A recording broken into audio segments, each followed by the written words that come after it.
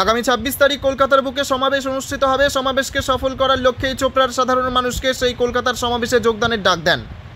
উত্তর দিনাজপুর জেলার চোপড়া ব্লকের দাসপাড়া গ্রাম পঞ্চায়েতের নন্দীগঞ্জ এলাকায় এই পথসভা করেন ডিওয়াইএফআই রাজ্য নেত্রী মীনাক্ষী মুখার্জি। চোপড়া জেসিবি কাণ্ড সহ একাধিক বিষয় নিয়ে বক্তব্য রাখেন বলবেন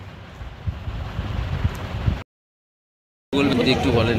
এবং কি আগামী দিনে কি আপনাদের যারাই আন্দোলন করছে, তাদেরকেই পুলিশ দমন পীড়ন করছে। অলতান দাসগুপ্ত নেতা রাজ্যের নেতা দেশের নেতা। ফলে সেই আন্দোলনে আছে তার উপরে আক্রমণ হবে না বা আমাদের কারও উপরে আক্রমণ হবে না এটা আমরা মনে করি। না আক্রমণ হবে প্রতিবাদের আন্দোলনে কত বেশি তীব্র ওই ছাব্বিশ তারিখ যে কর্মসূচি রয়েছে সেটা বলছিলেন। ছাব্বিশ তারিখ আগামী ছাব্বিশ তারিখ। সে সেই কি মানে রাজ্য জুড়েই বা কি কর্মসূচি বা কি যদি বলেন? মানুষ নিজেদের প্রতিবাদ জানাতে কলকাতা যাবে? চোপড়া নিয়ে কি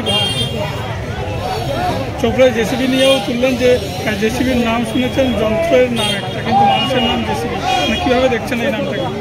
পুলিশ এবং সরকারের হাত মাথায় না থাকলে এই ধরনের যন্ত্রের নামে মানুষ তৈরি হয় না। পুলিশ নিয়েও অভিযোগ করলেন কি বলবেন? পুলিশের যে ভূমিকা। পুলিশ মন্ত্রীর পদত্যাগ চেয়েছি। পুলিশ মন্ত্রীর নিচেই চোপড়ার পুলিশও আছে। বলছি কালকে তো নতুন সিপি জয়েনও করেছে এবং একগুচ্ছ পুলিশ রদবদল হয়েছে। সে কি বলবেন?